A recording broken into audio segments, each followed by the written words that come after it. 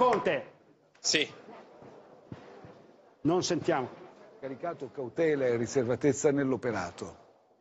Oggi ai responsabili politici viene chiesto di rimanere esclusivamente concentrati sul perseguimento del bene comune, di rimanere esclusivamente concentrati sui problemi che impediscono ai cittadini di avere una qualità di vita migliore e alle imprese di crescere ed espandersi.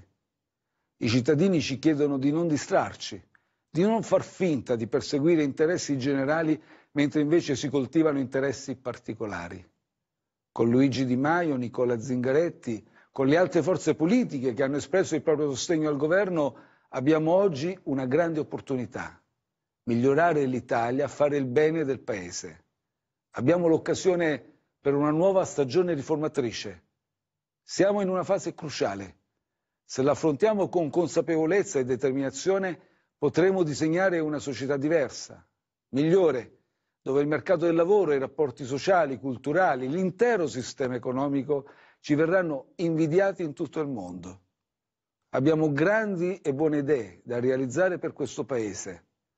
Nelle consultazioni con le varie forze politiche che ho svolto in questi giorni, ho registrato una consonanza tra Movimento 5 Stelle, PD e altre forze di centrosinistra sugli obiettivi da raggiungere, sulla volontà di fare bene a partire da una manovra economica che avrà al centro le ragioni del lavoro, dello sviluppo sociale, con obiettivi chiari, stop all'aumento dell'IVA, salario minimo orario, taglio del cuneo fiscale, maggiore potere di acquisto per i lavoratori, una pubblica amministrazione più trasparente, più efficiente, sostegno alle famiglie, incentivazione delle nascite, sostegno alle persone con disabilità, interventi per l'emergenza abitativa.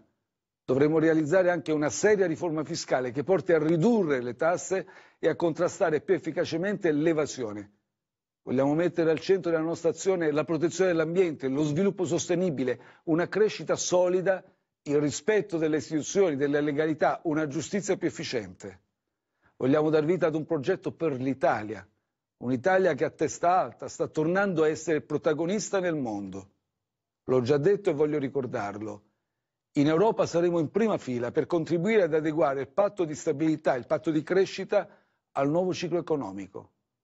In Europa non sono mai andato con tono dimesso. Avvieremo un dialogo franco ma critico e deciso per superare le politiche di austerità e modificare le regole vigenti, flettendole verso una crescita duratura, verso uno sviluppo sostenibile. Dobbiamo riprendere, dobbiamo sviluppare i negoziati dell'Unione Europea per superare le convenzioni di Dublino perché si affermi una gestione finalmente europea del problema dell'immigrazione, continuando a contrastare i traffici illegali e l'immigrazione clandestina. Bisogna proseguire nella lotta contro la corruzione, per rafforzare l'azione di contrasto contro il malaffare, contro le tante mafie. E poi dovremo lavorare sul fronte della modernizzazione, del miglioramento nei campi dell'istruzione, della cultura, della salute, dei trasporti, per rendere ancora più competitive le nostre imprese e dare continuità al nostro comune impegno sul fronte della connettività, per garantire a tutti l'accesso universale a Internet e affermare la cittadinanza digitale. Dobbiamo continuare nell'azione di eliminazione dei privilegi, perché chi è chiamato a svolgere una funzione pubblica deve farlo con disciplina e onore, senza indebiti vantaggi senza dimenticarci del progetto costituzionale di riduzione del numero dei parlamentari, che necessita di un ulteriore passaggio in Parlamento. Per fare questo serve però un governo forte, un governo stabile. Io sarò il primo responsabile di questa nuova esperienza di governo. Sto lavorando in queste ore per essere affiancato da persone che abbiano elevata competenza, buona capacità organizzativa, un'adeguata qualificazione politica. Questa giusta amalgama sarà importante per avere una squadra di governo autorevole ed efficiente. Sia ben chiaro, non mi sfuggono le ragioni di perplessità e i dubbi che possono albergare nei sostenitori dell'una e dell'altra forza di questa nuova maggioranza. Penso agli elettori del 5 Stelle che sono chiamati al voto sulla piattaforma Rousseau. A voi, Ricordo che il movimento ha sempre detto in modo molto chiaro, prima delle elezioni, che se non avesse avuto la maggioranza assoluta in Parlamento avrebbe realizzato il programma con le forze disponibili a farlo.